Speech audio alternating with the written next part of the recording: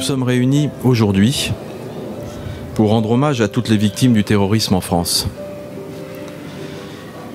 Nous le savons, le terrorisme est une atrocité qui frappe nos sociétés depuis de nombreuses années maintenant.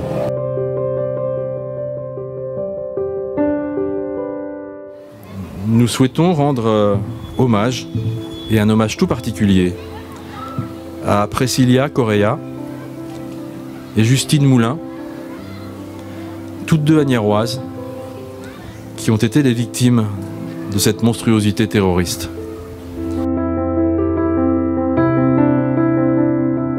Le devoir de mémoire, c'est une forme euh, à ce que, les personnes continuent à vivre par, avec leurs souvenirs, avec qui elles étaient, leurs sourires, leurs leur moments de, de joie.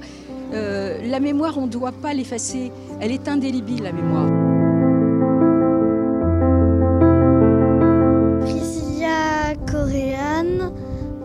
Et Justine Moulin.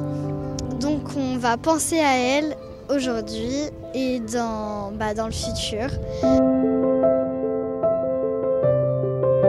L'arbre euh, que nous avons planté aujourd'hui est important puisqu'il va permettre, en s'enracinant dans le sol agnérois, de conserver la mémoire euh, donc de ces deux jeunes agnéroises euh, qui ont perdu la vie dans ces attentats.